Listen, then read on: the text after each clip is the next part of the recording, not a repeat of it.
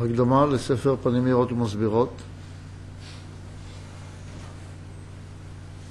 אנחנו באמצע האות ד', דיבור המתחיל ובזה תבין אמרם ז"ל.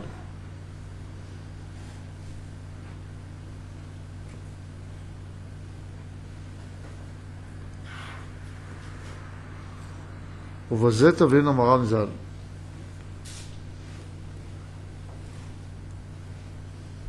בסנהדרין צדיח עמוד א' אין בן דוד בא אלא בדור שכולו זכאי או כולו חייב. שתמוה מאוד. שכל כמה שימצאו איזה זכאים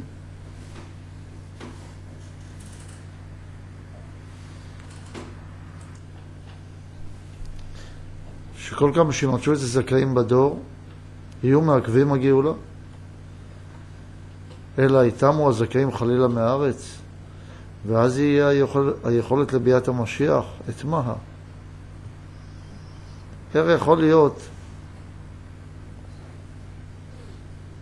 שמה שחסר, מה שחסר במציאות זה שלא יהיו זכאים.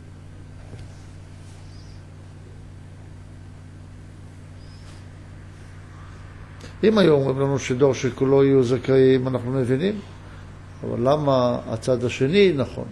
דור שכולו חייבים. זה נראה הפוך לגמרי מהשכל הישר. אמנם צריך להבין מאוד מאוד שזה עניין של הגאולה וביאת המשיח המקובל לנו במהרה בימינו. אמן. הוא עניין תכלית הגובה של שלמות ההשגה והדעת. והנה פה הוא נותן לנו הגדרה מדויקת מהי נקראת ביאת המשיח המקוון. שוב אני אומר את ההגדרה, תכלית הגובה של שלמות ההשגה והדעת. אז משיח זה כבר לא איזה אדם שבא על חמור לבן, אלא זה איזשהו מושג נפשי, כמו כל שאר המושגים שבעל הסולם מפשיט לנו מהתפיסה של זמן ומקום, גם את המושג הכל כך מפורסם הזה של ביאת משיח, שהוא משומש באופן רגיל בפיות בני אדם, באופן הלא מדויק, גם אותו מגדיר לנו בעל הסולם על פי מובנים שהם ללא זמן ומקום. מה זה ביאת משיח? תכלית הגובה של שלמות ההשגה והדעת. אם אדם מגיע באופן פרטי לתכלית ההשגה הזו, משמע שהוא הגיע לביאת משיח הפרטית שלו. אם אנחנו רוצים להגיע לביאת משיח של האומה, צריכים שהאומה תגיע לתכלית הגובה של שלמות ההשגה והדעת. מה זה המושג תכלית? התכלית היא מה שנתון באותו אובייקט שבא מהעליון שלו, כדי שהוא עצמו יוכל לפעול את מה שנצרך ממנו מעליונו. כי אם אני עשיתי כוס, טמנתי בכוס תכלית שהיא תוכל לשמש אותי לנשיאת נוזלים. ואם עשיתי בגד מסוים, יש תכלית לבגד, לא להיות בארון, אלא שהוא יחמם אותי, שאני אוכל ללבוש אותו וכו'. משמע שלכל תכלית, לכל חפץ, יש תכלית שנתן לו מי שעשה אותו. כך יש תכלית לאדם מאת הבורא יתברך, ויש תכלית לדומם צומח חי. התכלית היא הפוטנציאל הטמון בכל דבר. ואת הפוטנציאל הזה צריך להביא לידי קיום. גם להשגה יש תכלית, להשגה ולדעת. פה אומר לנו תכלית הגובה של שלמות ההשגה והדעת. מהי תכלית ההשגה והדעת, אם כך? מה הפוטנציאל שטמון לנו בהשגה והדעת שאליה צריך להגיע? שהבורא הוא טוב ומיטיב. זאת תכלית ההשגה והדעת. שלא נתבלבל לחשוב, חס ושלום, שתכלית ההשגה והדעת הוא שיהיה לנו הרבה ידע כזה או אחר, שנדע לעשות מחשבים יותר טובים, שנדע לטוס יותר גבוה, שנגיע לכוכבים יותר רחוקים, שהאינטליגנציה החומרית שלנו, או ההשכלה המדעית שלנו, היא זו שתתפתח. אין הדבר כך כלל וכלל. ועל כן אין אנחנו מחפשים כישרון אנליטי כדי להגיע לגדלות ההשגה והדעת, אלא כישרון נפשי שנותן לנו את האפשרות להשיג את הטבתו השלמה של הבורא יתברך. אם כך, תכלית הגובה של שלמות ההשגה והדעת היא שנוכל להגיע להשגה של הטבת הבורא. כאשר אומר לנו השגה, השגה זה מלשון כי תשיג ידו. הוא לא אמר רק לידיעה, לא אמר להכרה, לא לסתם השכלה, אלא השגה. המושג השגה זה מושג של גוף. יש הכרה או שכל ויש השגה. כפי שאמרתי, השגה זה מלשון כי תשיג ידו. ידו שייכת לגוף. הגוף זה אומר שצריכים להגיע לבחינת והשיבותה אל לבביך. אם אנחנו נגיע להשגה הזאת רק בשכל, לא יהיה די בכך, אלא צריכים להגיע לכך שמרגישים שהבורא טוב ומיטיב. משמע שאם אתה סובל, לא יכול להיות שהגעת לגדלות ההשגה. אתה חייב להיות אדם ששמח ומאושר כדי שתוכל להגיע לגדלות ההשגה. או נאמר את זה הפוך. אם אתה לא שמח ולא נהנה, משמע שלא הגעת לגדלות ההשגה.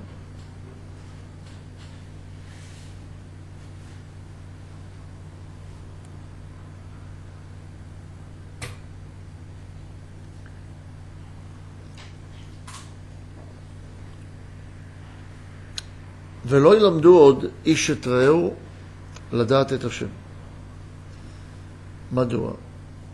כי כולם ידעו אותי מגדולם ועד קטנם. מה זה ידעו אותי? לא יוכלו להצביע עליי ברחוב ולהגיד, אה, הנה השם יתברך, אני גם מכיר אותו. לא זו הכוונה. דעת או ידיעה זה עניין של חיבור. מלשון וידע אדם את חווה אשתו. יוצא שכולם יהיו מחוברים לבורא. ומי שמחובר למשהו, זה לא עניין של שכל, אלא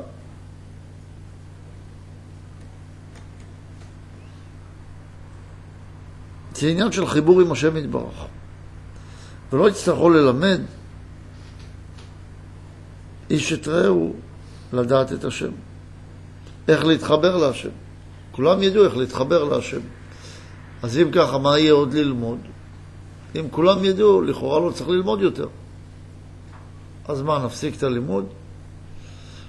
מספרים לנו שצדיקים, כאשר מגיעים לגמר תיקון, כאשר מגיעים לישיבה של מעלה, מה התענוג הגדול שלהם? יושבים, מטרותיהם בראשיהם, יושבים ולומדים תורה. אז אם יודעים, בשביל מה לומדים? תשובה,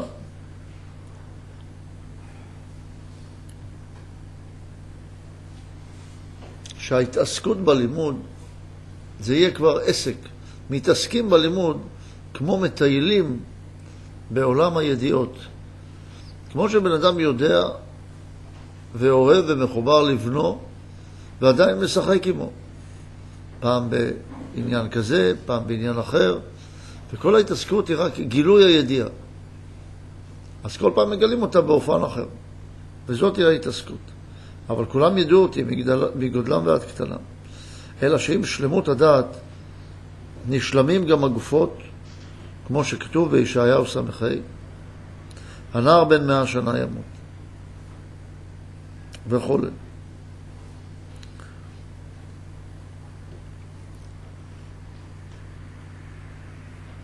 שלמות הדעת נשלמים, עם שלמות הדעת נשלמים גם הגופות, אבל לא הפוך.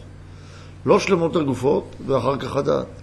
לא קודם כל אני אקנה בית ויהיה לי בריאות הגוף, אחר כך אם אני אדאג לבריאות הגוף אז תהיה גם בריאות הנשמה.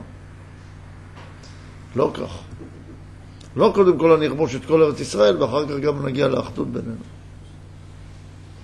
הוא ירחיב על זה בהמשך, אז אני לא רוצה להרחיב את זה פה. בהמשך תכף נדבר מזה. אבל יש להבין ששלמות הדעת באה לפני שלמות הגוף. כאשר יושלמו בני ישראל עם דעת השלם, יתגברו מעיינות התבונה והדעת. מעל לגבול ישראל. משמע שיש תנאי שקודם כל יושלמו בני ישראל. ואחר כך אפשר להפיץ את התורה גם לגויים.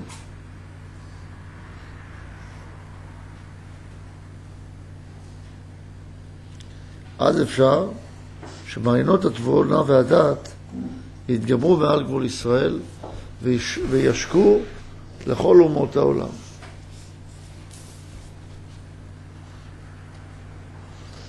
מפה אנחנו מבינים שגם אומות העולם צריכים את הדעת השלמה. דעת שלמה להתחבר עם הבורא. כמו שכתוב ישעיהו בי"א, כי מלאה הארץ דעה את השם, כמים לים מכסים. כמה ידעו? כמו שהמים מכסים לים. כמו שכתוב, וינהרו אל השם ואל טובו. והתגברות הדעת הזה, שהתגברו מעיינות התבונה, ויוכל עם ישראל להשקות לכל אומות העולם, הוא עניין התפשטות מלכות המשיח אל כל האומות.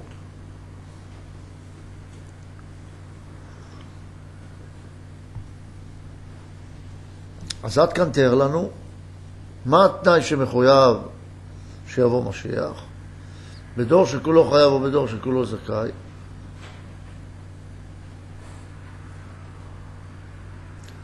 אמר לנו, נתן לנו הגדרה של מה זה משיח, שהיא תכלית הגובה של שלמות ההשגה והדעת. הסברנו שאין מדובר על דעת שכלית, אלא התחברות עם השם יתברך, וזה חייב להתבטא מבחינה רגשית. לזה מגיעים קודם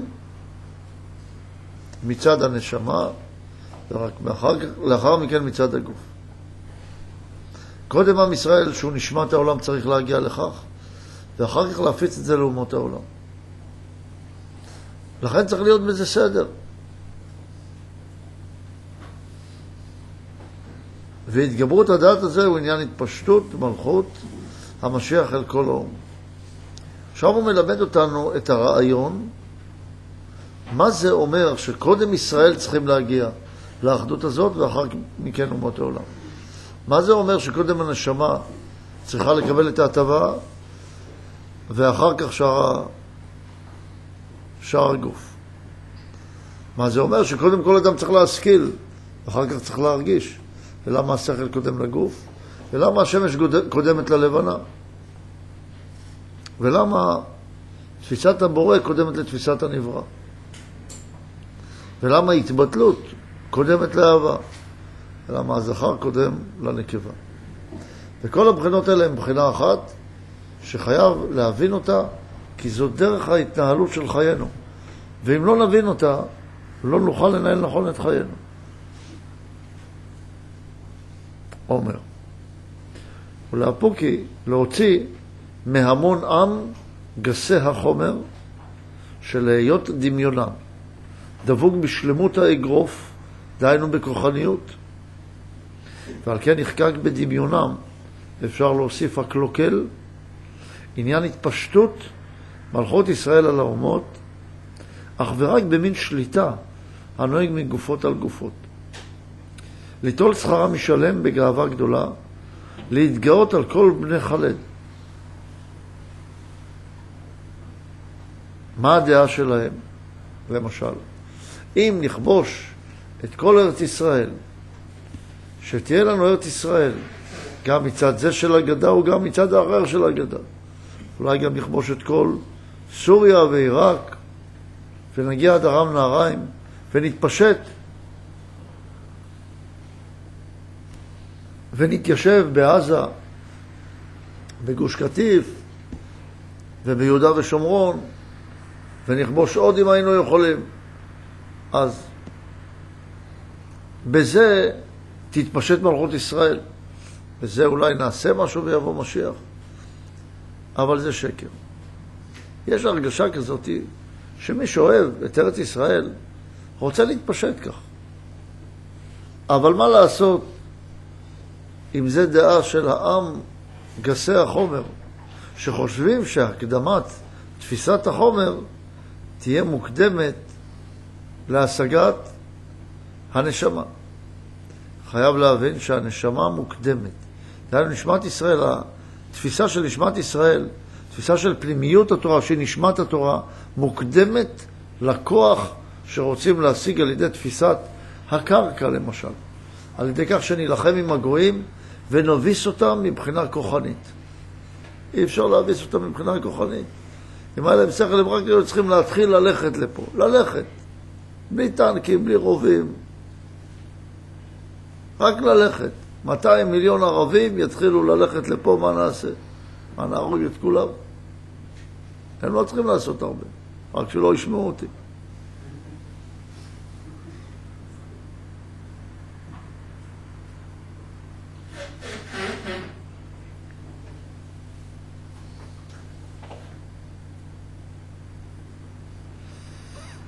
הדרך היחידה שלנו להתגבר עליהם זה קודם כל להיות מאוחדים בינינו בתפיסה אמיתית ושלמה, שהדעת של פנימיות התורה תתפשט בקרב עם ישראל, שהיכולת שלנו להכיל את האחדות בינינו תהיה חזקה, שנסכים אנחנו לוותר בהתחלה על הגופניות, כדי שנוכל לבוא לאחדות אחת שלמה וגדולה וטובה.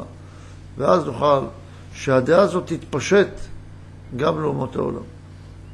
המלחמה היא לא מלחמה על טריטוריה גופנית. הרי צריכים להבין שהאנושות, וגם האדם עצמו, לא נלחם על מי מרוויח יותר שטח. תסתכלו בזוגיות. בזוגיות על מה נלחמים? על מי יחליט יותר דברים גשמיים בבית? הרי ודאי שלא. על מה מחליטים? על מה רבים? רבים על אהבה. כולם רוצים לאהוב. המלחמה היא להגיע להרגשה אחרת.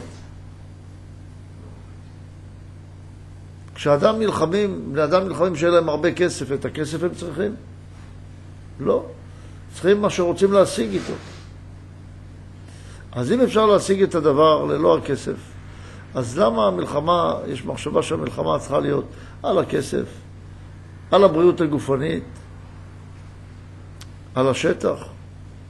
כך אדם עם עצמו. הרי מי שעשה את המעבר כבר, כדי להשיג איזושהי נפש שלמה, מבין שלא את החומר אנחנו מחפשים.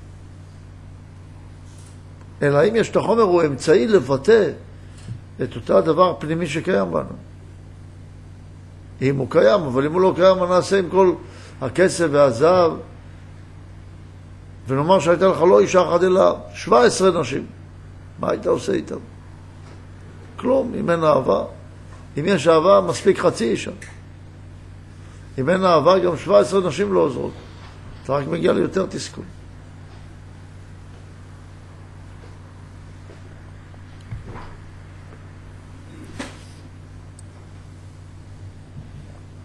לכן צריכים לצאת מהתפיסה הזאת של כוח האגרוף, של הכוחניות,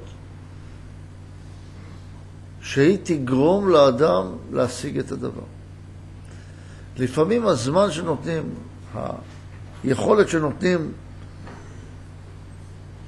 לדברים הנפשיים להתפשט, עושה הרבה יותר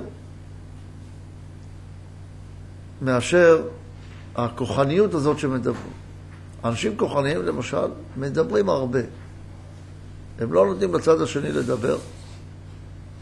אחד הסימנים, שכשאתה מדבר הם רוצים עוד לדבר ולדבר ולדבר, הם אפילו לא, מקשיב, לא רואים שאתה מפסיק להקשיב. ככה תראו אנשים רבים ביניהם, כל אחד צועק יותר חזק כדי שהוא יגיד את דעתו יותר ויותר ויותר זמן ויותר פעמים, למרות שהשני כבר הפסיק בכלל להקשיב. אבל יש הרגשה לאנשים הכוחניים, שאם הם יאמרו עוד מילה, עוד משפט, עוד משפט, עוד מילה, עוד מילה, יותר חזק, יותר חזק, אז צד שני סוף סוף יתפוס. למרות שהם חווים כל פעם מחדש שהוא לא תופס. ולפעמים כשנותנים את הזמן שלו, או מקשיבים לרגע מה הצד השני רוצה, אז יותר אפשר להגיע לאיזשהו קשר, אבל לא כך עושים. הכוחניות הזאת לא מובילה לדברים אמיתיים וטובים.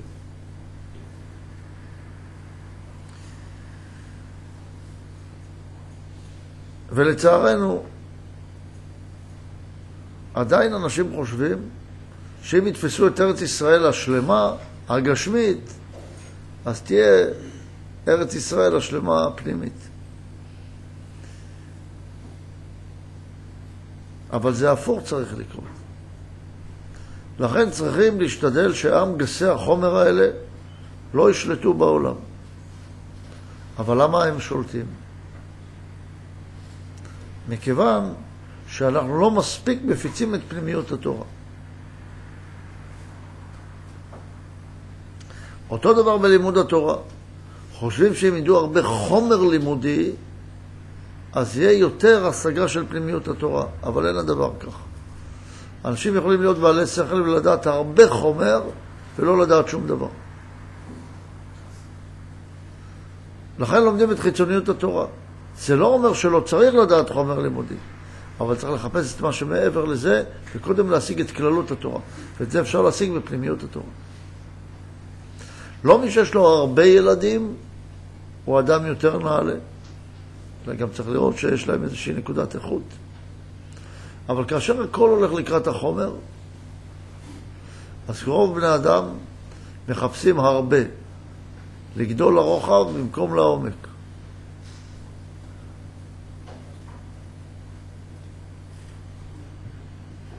ומה אעשה להם?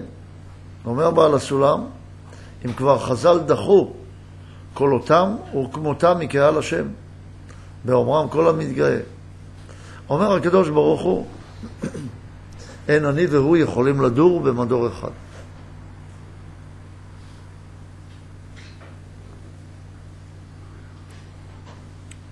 וכן להוציא מאותם הטועים ושופטים, שכשם שמציאות הגוף והכרח שיהיה מוקדם בזמן למציאות הנשמה והמושכלות השלמות.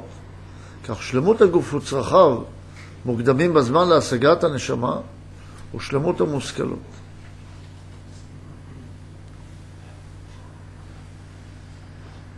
באופן שגוף חלש נמנע מהשגת מושכלות שלמות, שזה טעות מר וקשה ממוות.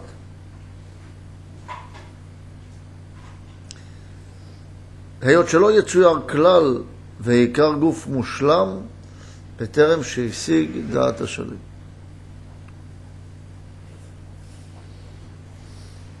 יוצא, או נגיד עוד פעם את המשפט הזה, קודם כל אני אסביר אותו, ואז נקרא אותו שוב. למשל, אני מסתכל על יגאל ירושלמי. בן אדם. ואני רואה את הגוף שלו. אז אולי נדמה לי שאם אני רואה קודם כל את הגוף שלו, את הצד הגשמי, אז ראיית הגוף שלו באופן שלם, היא צריכה להיות מוקדמת לראיית פנימיותו באופן שלם. הוא אומר לא ככה. זה שאתה רואה אותו ראשון, זה לא אומר שהשלמות של הראייה החיצונית תהיה מוקדמת לשלמות הראייה הפנימית. יש הבדל בין פגישת הדבר לבין שלמותו.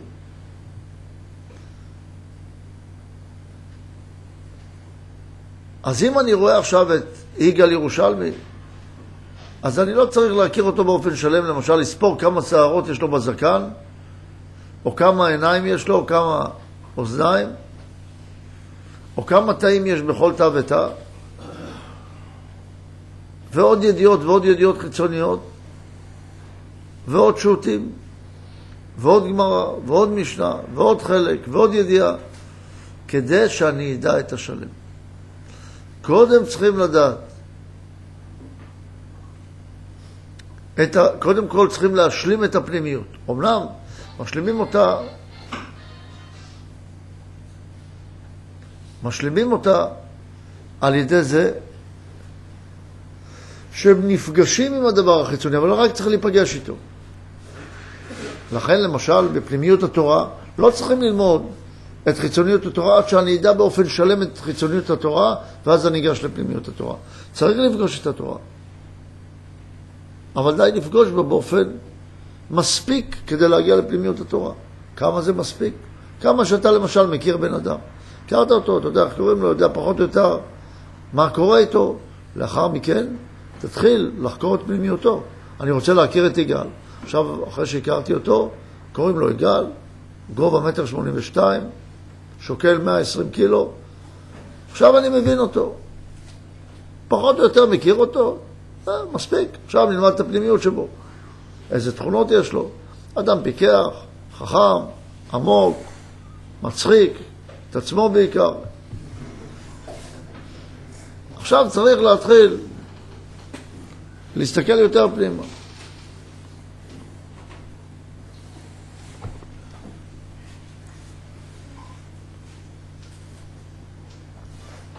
ואז צריכים להגיע קודם כל לשלמות התפיסה הפנימית. השלמות של הפנימיות באה לפני השלמות של החיצוניות.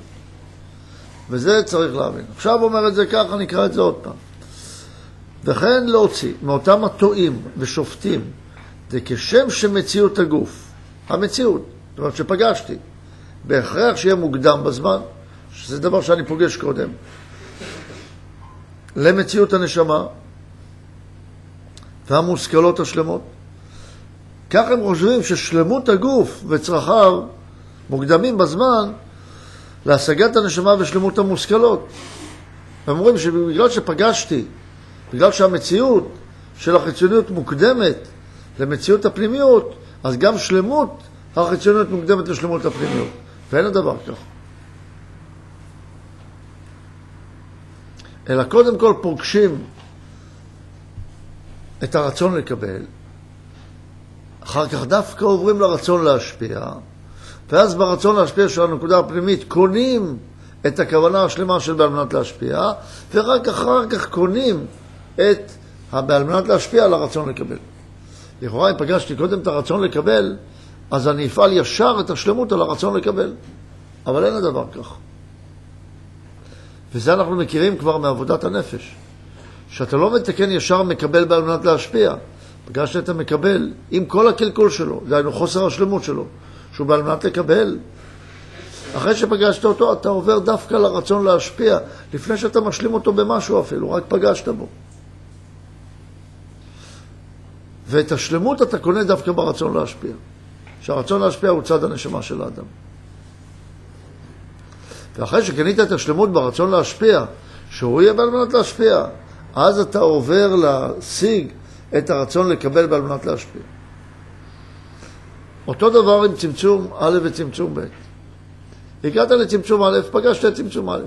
אתה לא יכול להגיע לשלמות של צמצום א', לקבל בעל מנת להשפיע, אלא רק פגשת אותו בג' ראשונות, אפילו לא התחלת להתעסק עם בחינה ד'. אחר כך אתה עובר לצמצום ב', ופועל את המשפיע על מנת להשפיע. ואחר כך מתקן אחר דעלייה. ורק לאחר מכן אתה יכול לתקן את החפ במקומם. זאת אומרת שאתה קודם כל עושה את התיקון של משפיע על מנת להשפיע, רק אחר כך לקבל על מנת להשפיע. אותו דבר מבחינת העולם הזה. יש, העולם הזה בנוי מזמן ומקום. קודם תיקון הזמן, אחר כך תיקון המקום. קודם כל תיקון השכל, אחר כך תיקון המקום, הגוף, ההרגשה. קודם תגיע להבנה נכונה של האמת, אחר כך תגיע להרגשה נכונה של האמת. אבל מה אנשים רוצים להגיע? אם אני ארגיש, אז אני אעשה, אז אני אבין. אתה לא תרגיש.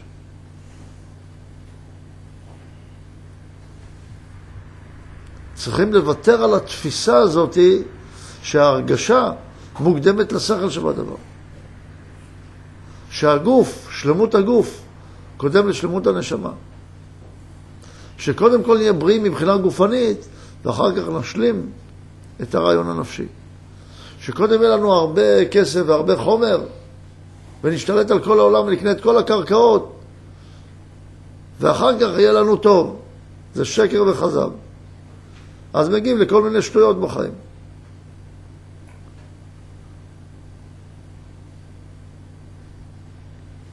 אומר זה שלמות שזה טעות מר וקשה ממוות. למה?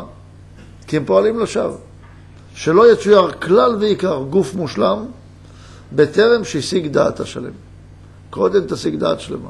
דעת שלמה משיגים יותר בלימוד, יותר בפגישה בין החברים, יותר במקום היותר מצומצם.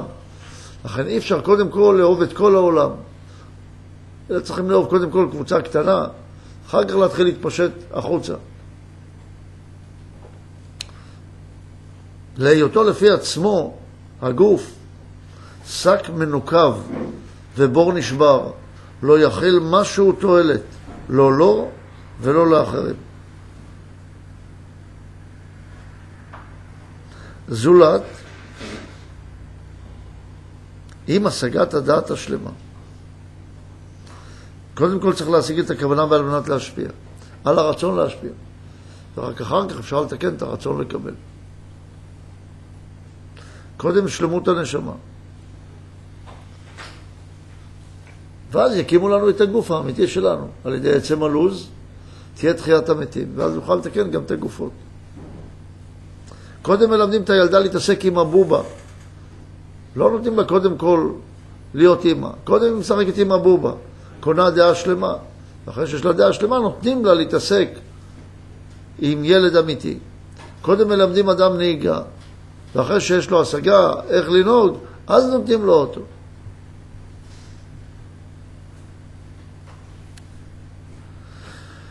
אז אחרי השגת הדעת השלמה, אז עולה גם הגוף לשלמותו עמה בקנה אחד ממש.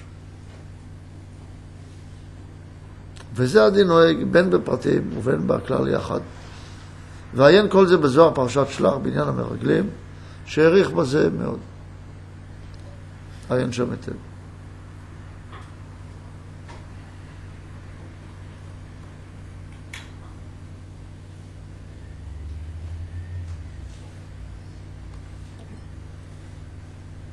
כן.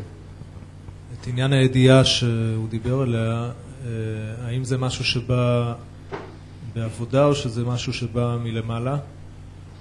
ודבר שני, אה, נושא של, אה, של הגישה מהחיצוניות, שאתה נפגש עם החיצוניות ואתה שם אותה בצד ואחרי זה אתה מנתח את הפנימיות, איך זה עובד גם בנושא של זיווג. כן. הידיעה באה מלמעלה, אבל אתה צריך להכין לה מקום. ההתחברות השלמה, דהיינו הרגשת הגוף, באה מלמעלה, אבל אתה צריך לתת לה מקום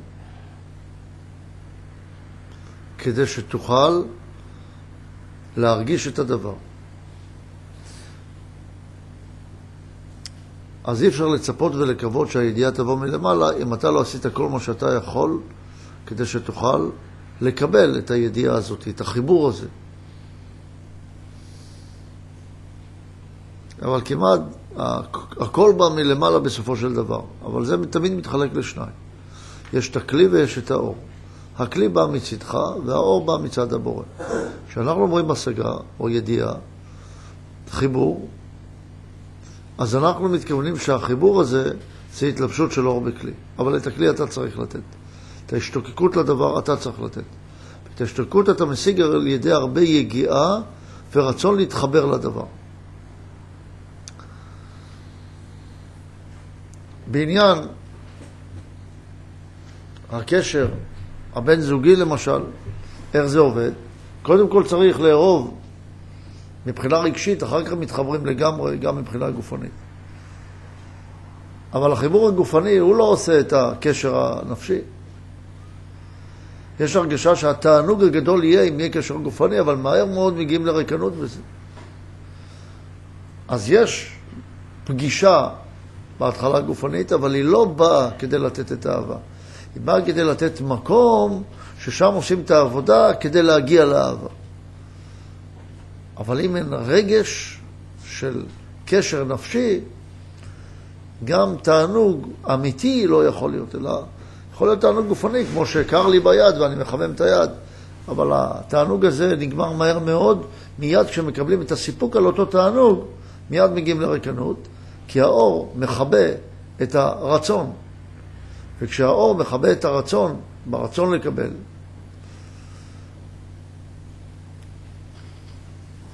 אז צריכים להבין שהרצון לקבל הוא לא מה שאני צריך, אלא צריכים רצון אחר, שנקרא רצון להשפיע. שם האור לא מכבה את התענוג. לכן קודם כל פוגשים את הצד השני, מתחתנים, ועכשיו מתחילה העבודה.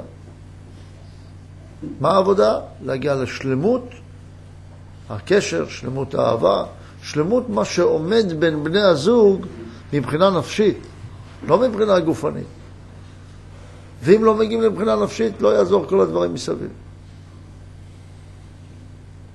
אותו דבר אדם עם עצמו. אחרי שהוא פגש את עצמו והגיע לעולם, ויודע, הנה אני קיים, יש לי רצונות, עכשיו הוא צריך להגיע לשלמות של הפנימיות שבו. זה לא יעזור אם יהיה לו מקצוע והוא ירוויח הרבה כסף והוא יתחתן ויהיה לו ילדים, שני ילדים וכלבלב ואוטו ווילה ודשא, זה לא יעזור לו. אלא הוא צריך להגיע לאיזושהי שלמות פנימית בתוכו. אם הוא לא יגיע לזה, לא יקרה כלום. כל מה שהוא אסף, זה יכול לפעול לרעתו. עושר השמור לבעליו לרעתו. ולכן צריך, אחרי שפגשת בדבר, להתחיל לעבוד על הנקודה הפנימית, וחזק, ומהר. ומי שלא רוצה לעבוד על הנקודה הפנימית, אין מה לעשות במקום הזה. אין מה לעשות בעולם הזה אם לא באת כדי לעבוד על הנקודה הפנימית. הרב, מה הכוונה שידיעה גורמת להתחברות? ידיעה היא התחברות. מלשון, כמו שאומר בעל הסולם, וידע אדם את חווה אשתו. שדעת היא הספירה של רצון הגוף שנמצא בראש. בראש יש לנו שתי צדדים, שתי אונות בראש. איך ראש בנוי עם שתי אונות, יש את האונה הימנית שהיא אחראית להפשטה. והעונה השמאלית דווקא לקיבוץ, לגבולות, למסגרות. אם אתה טמון בתוך המסגרות, אתה לא יכול לזוז ואין לך שום השראה. אם אתה טמון, אין לך את המסגרות, אז אתה יכול כל כך להתפשט, אתה יכול לחשוב שאתה ציפור ואתה תתעופף, רק מתוך הדמיון שלך אתה יכול לעשות כל מיני דברים. ולכן צריך את האיזון ביניהם. נקודת האיזון ביניהם היא שהשמאל, הצד הטכני, המנטלי, החותך, המחלק, יהיה אמצעי לביטוי אותו צד המופשט הימני. מתחלק גם בין תפיסת המערב לתפיסת המזרח, בין השמאל לימין. אז מהי הידיעה הזאת? הידיעה צריך את החיבור ביניהם. מה מחבר ביניהם? הרצון של הגוף. כי הגוף צריך את שניהם. לגוף, אם לא יהיה לו את ההפשטה הזאת, לא יהיה לו שום תענוג.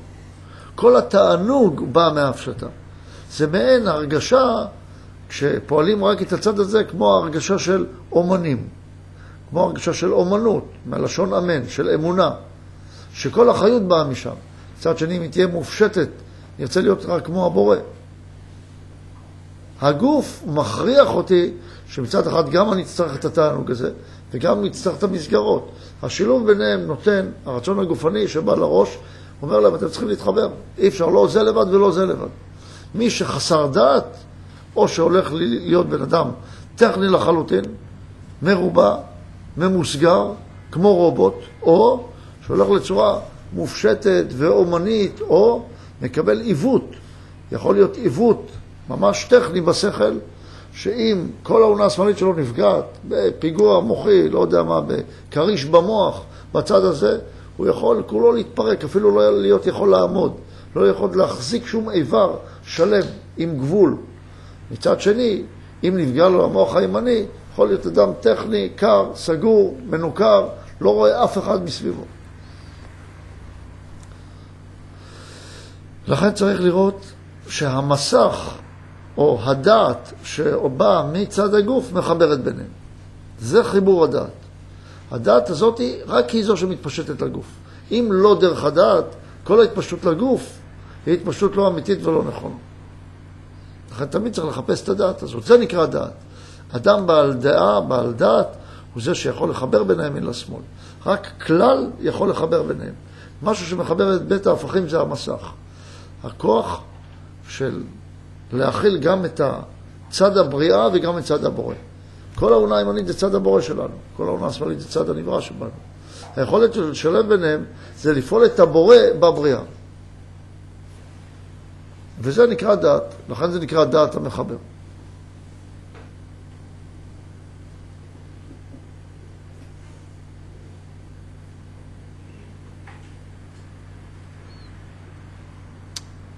בבקשה.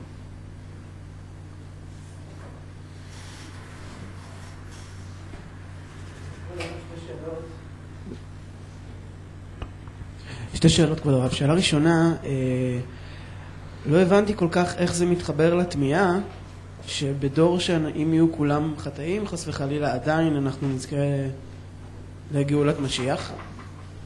ושאלה שנייה, זה אם יש כאן רמז בעצם לכל אדם שבתיקון שלו הוא כאילו מושך אחריו את התיקון העולמי. זאת אומרת, אם יש כאן סוד מסוים לגבי... אני צריך לתקן את עצמי לא רק מצד עצמי, אלא מצד זה שאני אמשוך כאילו כמו איזה סוג של מגנט.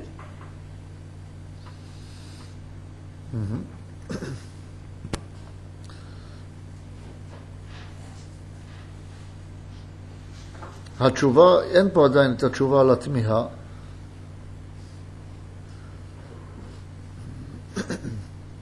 אבל דור שכולו חייב זה אומר שהתעוררה מתוך החיסרון הגדול התעורר הצורך העצום והגדול לנקודה הפנימית, כי נראה שאין כבר ברירה. הדור שכולו חייב, זה אומר שיהיה לנו ייאוש גמור ומוחלט מהדרך החיצונית. ועד שלא יהיה לנו ייאוש אמיתי ומוחלט מהדרך החיצונית, לא באמת נבוא לדרך הפנימית, כך גם בכל אדם. ברגע שאדם לא מגיע לייאוש הזה, אז הוא עדיין מקווה. לכן אדם צריך להגיע לייאוש. הייאוש, מהדרך החיצונית, אדם רוצה להחזיק את שתי העולמות בבת אחת. אומר, אני רוצה להיות בן אדם פנימי, אבל גם להיות בן אדם חיצוני. אני רוצה ללמוד תורה, אבל גם לא לוותר על התענוגות של העולם הזה. אדם צריך להגיע, להסכים, שהוא לא יוכל להגיע לשלמות של ההרגשה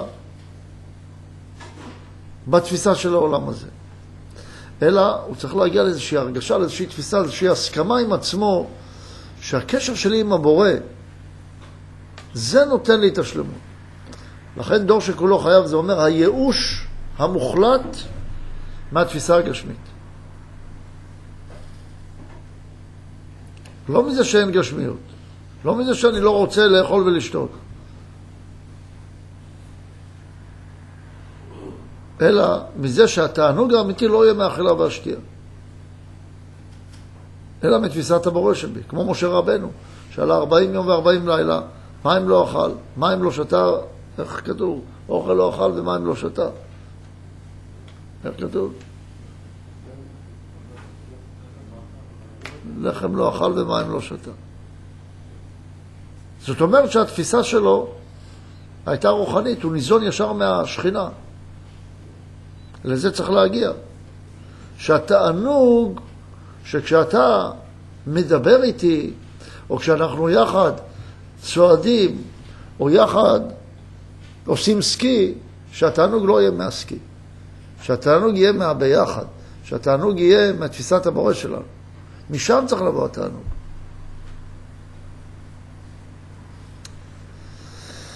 אז זה נקרא דור שכולו חייב.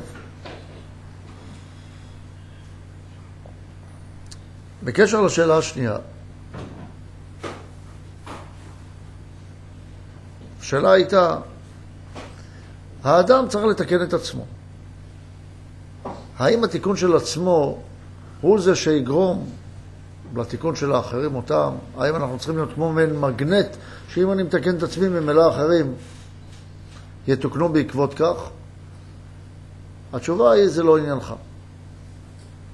מה אכפת לך אתה? מה אחרים יעשו? זה עניין של הקדוש ברוך הוא. העניין שלך הוא כלפי הקדוש ברוך הוא. הוא רוצה שאתה תתקן את עצמך, תקן את עצמך. מה יהיה עם אחרים, תעזור בשבילו, זה לא עניינך. אלא אם כן, הוא רוצה שאתה תעזור לאחרים. אבל גם מה שתעזור לאחרים, אתה צריך לעזור לאחרים, כי אתה צריך לתקן את עצמך בעזרה שלך לאחרים. אבל מה שהם יתקנו את עצמם, מה אתה מתערב? זה עניינך. מה, אתה באת להציל את העולם? הקדוש ברוך הוא לא יכול לעשות את זה לבד? מה... כמו בן אדם בא, רוצה הרבה כסף, יש פה איזה בחור שבא תמיד לשיעורים של לומדות, הוא רוצה הרבה כסף, למה? הוא רוצה לעזור לאחרים בעולם. הקדוש ברוך הוא צריך אותו בשביל לתת כסף לכל העניים בעולם. והקדוש ברוך הוא רוצה, הוא לא יכול לתת כסף לעניים בעולם. בדיוק אותו, הוא חיכה לו שהוא ירוויח הרבה כסף, שהוא יעביר את זה לעולם. לא צריך את אף אחד. הקדוש ברוך הוא רוצה שאנחנו נעשה את זה כדי שמשהו בנו יתוקן. יחד עם זאת, זה עובד באמת כמו שאמרת. ברגע שבן אדם מתקן את עצמו, זה עוזר לאחרים גם לתקן את עצמם. אבל לא צריך לעשות את זה כי הוא רוצה לתקן בזה את האחרים, אלא כי יש לו איזשהו ייעוד אישי, עצמי, להגיע לתיקון כלפי הבורא. ובזה צריכה להיות לו גם אחריות של הכלל.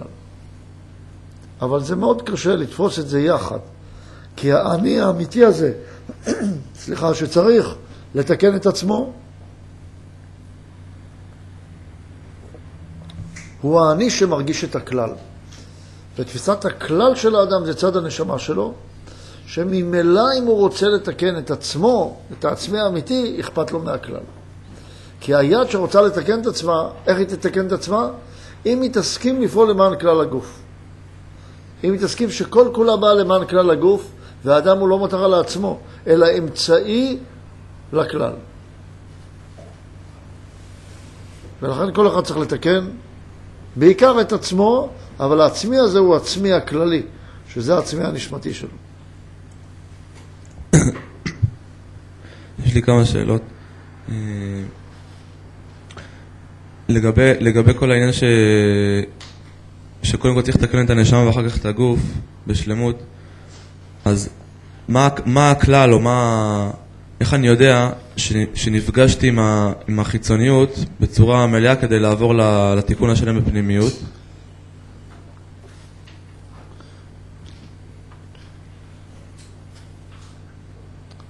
מה זה נקרא להיפגש בצורה מלאה? אתה צריך להיפגש. כמה? כל פעם כשנפגשת תנסה להשיג את הנקודה הפנימית ולהשלים אותה. שלא תהיה לך שאיפה להגיע לשלמות בזכות החיצוניות. כמה? עד uh, שיש לך מספיק חומר. למשל, כמה פלסטלינה צריך לאסוף כדי להתחיל ללמד את הילד לעשות, לעסוק בפלסטלינה? או כמה ספרים אתה צריך לקנות כדי להתחיל לקרוא את הספר? כדי להתחיל לקרוא. או כמה בני אדם אתה צריך לפגוש כדי להתחיל לקיים יחסי קרבה עם בני אדם? כמה? איך אפשר להגיד? כמה תרגילים בחשבון צריך לפגוש כדי לתפוס את הכלל? כל תרגיל שתפסת, תנסה דרכו להגיע לכלל. לא תצליח, קח עוד תרגיל. לא תצליח, קח עוד תרגיל. אבל אל תאסוף ותאסוף ותאסוף ותאסוף, ורק אחר כך תאסוף אלף תרגילים בחיבור, ואז תתחיל לחבר אותם. מה שיש לך, תתחיל לעבוד איתו, כדי להגיע לאחדות. כמה, אין מידה מסוימת, אבל אפשר לומר שבערך עשרה אחוז, בערך, לא, לא צריך יותר מעשרה אחוז. כך גם אתה צריך להשקיע את הזמן שלך. אתה משקיע בחיצוניות, עשרה אחוז, חמישה עשר אחוז, חמישים אחוז. 90 אחוז, אבל לא את כל המאה אחוז. תשאיר איזה אחוז אחד מדי פעם לחשוב על רוחניות. אבל מה אנשים עושים? משקיעים את רוב מרצם בצד החיצוני. וצריכים להשתדל להשקיע את עצמנו דווקא בדבר הפנימי, שם להשיג את השלמות. אה, אם אפשר אה, להבין יותר את העניין, או אולי, דוגמאות להבדל בין, אה, בין שמקבלים בדי עלייה לבין לבין אחת במקומם, במקרים שדיברנו עליהם. אחר בדעלייה זה אומרים, זה אומר שרוצים לתקן את צד הלב, רוצים להתחיל לתקן את הגוף, את ההרגשה, את ההשגה, אבל לא במקום הטבעי שלו. למשל, אתה רוצה להתנהל נכון עם כל בני העולם, אבל אתה יודע שאם אתה תפעל כלפי כל בני העולם, זה לא ילך. אז אתה פועל את זה בבית המדרש. אתה פועל את זה בסביבה הקרובה אליך, ולא כלפי כל העולם. או לא כלפי כל הרצונות, אלא רק כלפי הרצונות היותר זכים שלך. וכלפי הרצונות שבאמת שם אתה צריך לפעול את זה, אתה רואה שאתה לא יכול, ואתה גם לא מקווה לעשות את זה. אתה לא שותה ואומר, עכשיו אני אשתה, ועל מנת להשפיע. על מנת להשפיע. לא כדאי ככה. לא כדאי לעשות את זה באכילה ושתייה, או בתיקון האוטו שלך. אל תתקן את האוטו בעל מנת להשפיע, אלא קודם כל תפעל ליחסים בין בני אדם שהם יותר קרובים לענייני השפעה. שם תפעל ועם החברים הקרובים שלך. זאת אומרת, להביא את המצבים שיש לנו בחיים, ששם צריך לפעול אותם, כי צריכים לאהוב כל אדם, גם את ג'ו מאפריקה. צריך להביא את זה, אבל למקום, כמו להביא את זה לתוך המעבדה ושם לעבוד עם זה. קודם בתוך המעבדה להבין את זה, במקום סטרילי מכל מיני הפרעות. להביא את אחאפ לעולם אצילות, למקום של העליון, שם לתקן. אחר כך, אם יש את הכוח, להוריד אותם למקומם. אבל אף פעם לא לתקן מיד במקומם. אה, אפשר שאלה נוספת? אחרונה, כן. מה, למה בעל סלום כותב על כל העניין של, אה, של הגאווה שם, שכל המתגאה, הרי מתגאה לבני חאלד, מה, מה הבעיה להתגאות לבני חאלד? זה כמו גאווה בדרכי השם. אתה לא מתג... להתגאות, מה זה גאווה?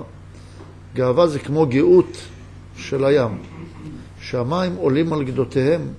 זאת אומרת שיש יותר תענוג מאשר הכלי יכול ומותר לו להאכל. זה גאווה. הגאווה בדרכי השם זה אומר גאווה במה שאני רוצה להשפיע נחת רוח להשם יתברך. הרצון שלי להשפיע נחת רוח להשם יתברך הוא כלי אינסופי. כך הוא צריך להיות, כי הוא נמדד על פי הבורא.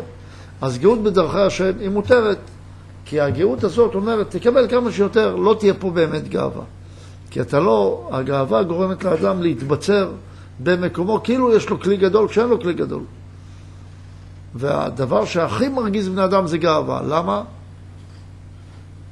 כי מבחינת האנשים, האדם הוא קטן, יש את הבורא יתברך, והוא מתגאה, והגאווה הזאת מרחיקה אותו מבני אדם, כי הוא תוחם את עצמו כאילו הוא מגיע לו ולאחרים לא. אז כל המתגאה, אומר הקדוש ברוך הוא, אין והוא יכולים לדור במדור אחד.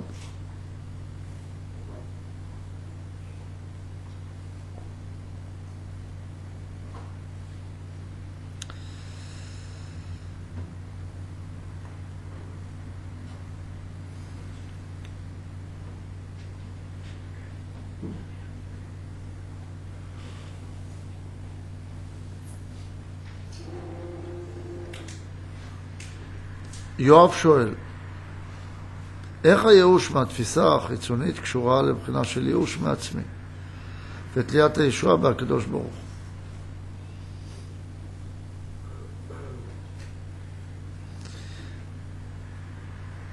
האדם תופס את עצמו בצורה חיצונית. העצמי שממנו צריך להתייאש זה העצמי הכוזב. ותפיסת המורה שבי זה האני האמיתי שלי. האדם בנוי משני חלקים בתוכו. מחלק שנקרא תפיסת הבורא שבו, שהיא רק נקודה קטנה אם היא בכלל קיימת. דהיינו, האני האמיתי שלו זה משהו שהוא מכיר שאולי קיים בו, אפילו לא יודע מה, הוא מקווה להשיג אותו. ואת האני הרגיל שלו, שהוא האני הכוזב, שהוא תלוי לתפיסה החיצונית שלו. לתפיסה שלו של זמן ומקום על ידי החושים שלו. כל זמן שאדם תופס את עצמו דרך האני הכוזב הזה, כדאי לו להתייאש מעצמו. הייאוש הזה צריך לבוא בד בבד עם תפיסת הבורא שבו, כדי שיהיה לו מה לעבוד. ואז הוא יוכל לשמוע את הבורא אומר לו, בוא אל פרעה, לא לך אל פרעה עם האני הכוזב שלך, אלא בוא, איתי, עם תפיסת הבורא, בוא אל פרעה, אל הדבר המפריע לך. ואז תוכל לצאת ממצרים. אבל אם אתה עם האני הכוזב תלך לפרעה, אז כל התפיסות שלך יהיו דרך אותו משפך, דרך אותו מסננת של האני הכוזב, ממילא הכל יתלכלך באני הכוזב שלך. גלעד שואל, איך אפשר להרגיש את הכלל, הזמן, ובאותו הזמן לא לרצות לתקן אותו? איך אני מתמקד רק בתיקון שלי, מבלי להתעלם מהכלל? קודם כל אתה צריך לעזוב את עצמך, הכוזב, כדי לתקן את עצמך האמיתי. ודרך הכלל אתה יכול לפגוש את האני האמיתי שלך. כי האני האמיתי הוא האני של הכלל. כלל בגימטריה 80, שזה נקרא נשמה. שמונה, שמונים, שמונה מאות, זה מעבר לעולם הזה, מעבר לשישה ממדים והאני הנמצא בתוכם, אז אפשר לצאת לבחינה השמינית שהיא מדרגת הבינה, שהיא עולם הנשמות. ולכן, רק מי שעובד עם כלל ופועל למען הכלל, יכול לצאת לעולם הנשמה. מי שפועל רק למען עצמו, לא יכול בשום אופן לצאת לעולם הנשמה. עניין האור שמכבה את הרצון, אה, איך ניתן להטמיע את זה? אה, רק בצורה שכלית? או, לא, אה, סליחה. אני מבין שבצורה שכלית, קודם כל, ללמוד את זה, ואחר כך איך ניתן לעשות את זה מבחינה נפשית. הנפש בנויה על חוויה. החוויה חייבת להיות בנויה על מודעות. המודעות מחייבת הכרה מוקדמת של הדבר אותו אתה פוגש, ואת האני הפוגש, ואת אותו אחד שיכול להסתכל על מי שפוגש את התופעה. זאת אומרת, אם אני עכשיו שותה מים, אז אני צריך לדעת שיש פה מים. צריך להרגיש את האני ששותה את המים, ואני צריך להרגיש משהו מבחוץ שרואה את התופעה בתוכי. כך פועלים עם הנפש. באופן יותר פשוט, אתה צריך להרגיש שכל פעם כשאתה פועל רק בשביל לקבל לעצמך, אתה נסתם. אתה רעב, אתה אוכל, אתה יכול לאכול עד הגבול שלך לאכול. אתה מרוויח כסף, כמה אתה יכול לבזבז? כמה? 200 אלף שקל לחודש, 500 אלף שקל לחודש, נו, מה אחר כך תעשה? כמה ידיעות יכולות להיות לך טכניות? נגיד שאתה רופא שיניים, נגיד ריפית עשרה חולים ביום. מה השאיפה? עשרים? אה, ריפית עשרים. ריפית חמישים, נו, ואחר כך מה? הגבול סותם אותך. עכשיו, צריך להגיע לזה בחוויה. וכל פעם שהגעת לזה בחוויה, אתה צריך לזכור את זה ולשמור את זה, את החוויה. ושמירת החוויה צריכה להעצים אותך כל פעם, אבל אתה צריך לעשות לה פרסומת. כל פעם שהגעת לחוויה כזאת, תעשה לה פרסומת. פרסומת על דרך השלילה. וכשעושים פרסומת לדבר ומפרגנים לו ומוכנים לשלם עליו, לשלם על לברוח, לברוח מתענוג שהוא מושך אותך מאוד, אבל אתה יודע שהוא רע.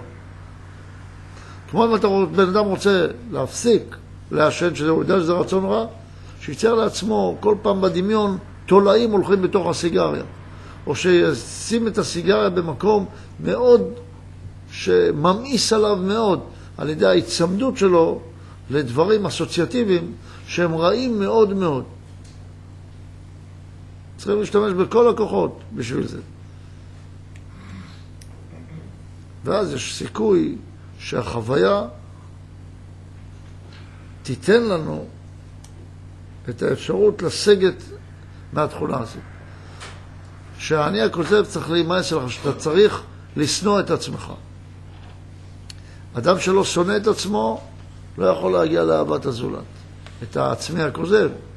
איך היו אומרים בקוצק? ואהבת לרעך כמוך? באיזושהי שנאה עצמית גדולה מאוד, שמי שלא שונא את עצמו, לא יכול לאהוב את הזולת. ולא כמו שאומרים אצל הפסיכ... איך אומרים? פסיכולוגים, פסיכולוגים. לא כמו שאומרים אצל הפסיכולוגים, אם תאהב את עצמך, אז תאהב את הזולת. הם מתכוונים בשורש לאני האמיתי שלך. אבל בן אדם שאוהב את עצמו, אני אוהב את הגלידה שלי, אני אתן אותה למישהו אחר? שום פנים ואופן. חתול אוהב מאוד את עצמו. הוא אוהב שמלטפים אותו ונותנים לו, והוא מוכן לשחק איתך, אבל ברגע, ברגע שהוא לא צריך אותך, אתה לא קיים בשבילו.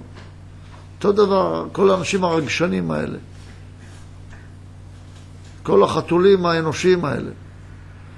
כל זמן שאתה עושה להם טוב ונעים להם איתך, אתה הבן אדם הכי גדול בשבילהם. אבל ברגע שהם לא צריכים אותך, אתה לא קיים בשבילהם. אין נאמנות לאנשים הרגשנים האלה. קשר בין שלושת הדברים שצריך קודם אה, לעבור במשפיע על מנת להשפיע, ובין זה שאי אפשר לקבל את הסיפוק מהחיצוניות, אלא רק מהקשר לבורא. והדבר השלישי שצריך קודם להשיג את ההשכלה ורק אחרי זה את ההרגשה.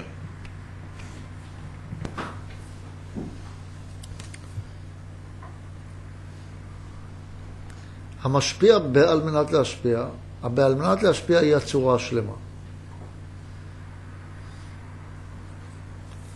סיפוק זה אומר שיש שלמות.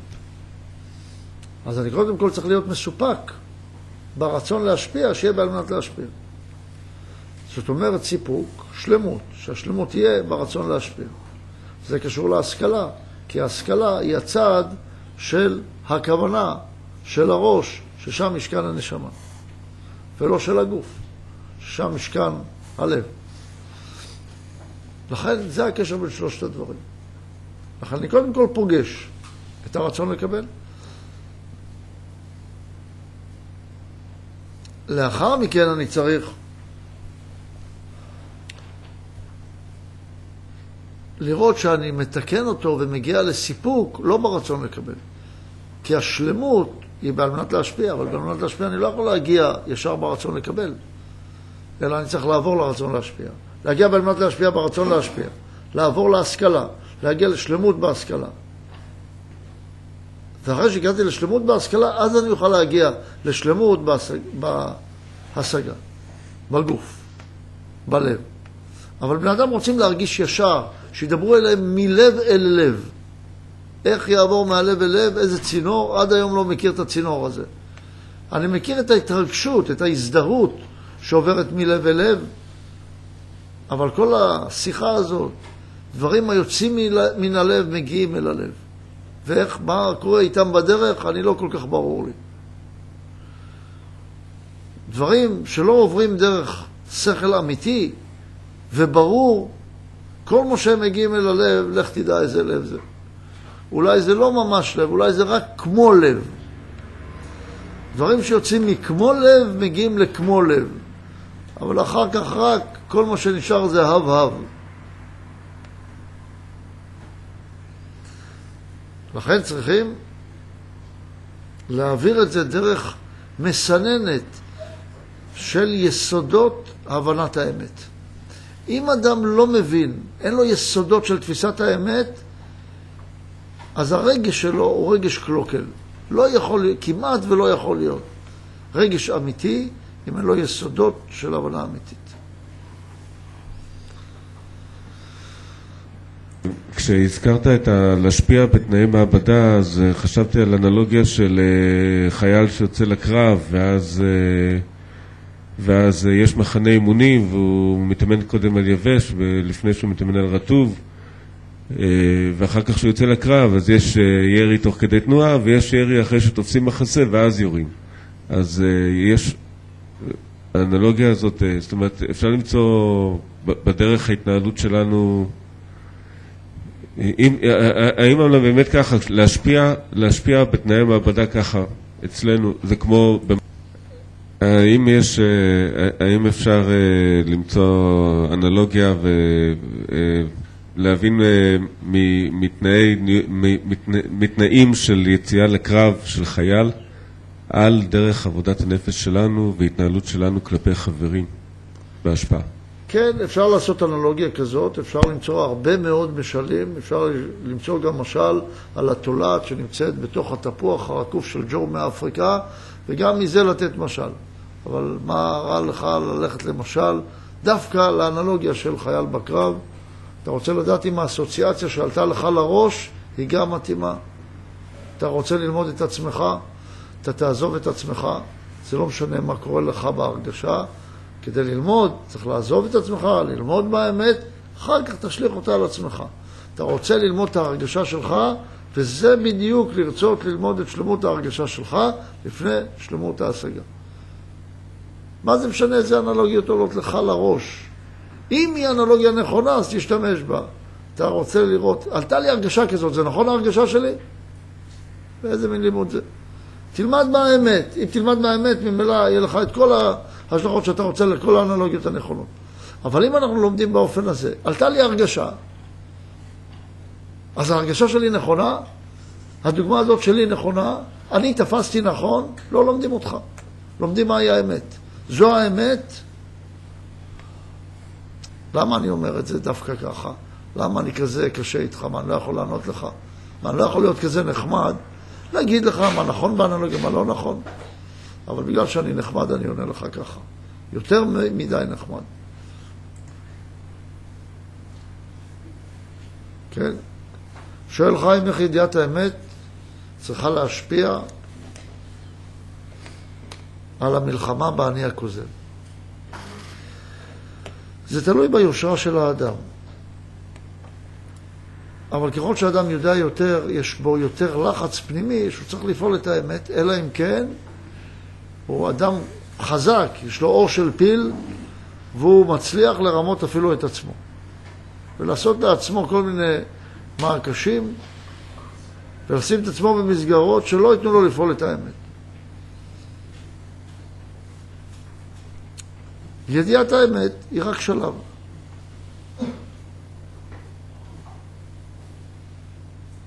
גם יואב שואל, איך קניית הדעת מביאה לתיקון הרגש הקלוקל?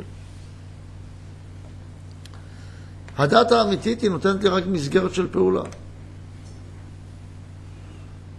אבל כאשר אני מתעסק בדת אני צריך לעזוב את עצמי. צריך לשים את עצמי המרגיש בצד. עד כדי כך, אם היינו מסתכלים באופן גלובלי, הייתי אומר, להקפיא את הרגש בכלל. אני לא משנה מה אני מרגיש. שים את הרגש בפח או בצד. עכשיו תבנה את התבניות האמיתיות, ואז תפשיר את עצמך לתבניות האמיתיות. אבל כל הזמן להתעסק מה אני מרגיש, זה נראה לי, זה מרגיש לי, זה לא מרגיש לי. איך הפסיכולוגים מדברים, זה מרגיש לך טוב, איך אתה מרגיש עם זה? מה זה משנה מה אתה מרגיש? תעזוב את הרגש בצד שלך, תגיע להבנה מה האמת, ואז תביא את עצמך לאמת. לכן, אם אני לא אדע מה האמת, איך אני אביא את עצמי לאמת? אם אני לא יודע מה הפאזל שאותו אני צריך לבנות, איך אני אמנה את כל החלקים שלי לאותו פאזל? אני עלול לחשוב שהרגליים של הפיל צריכים להיות למעלה, והאף זה זנב.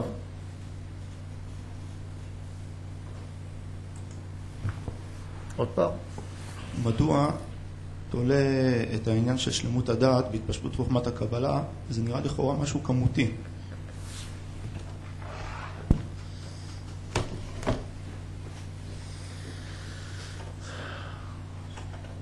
יש קשר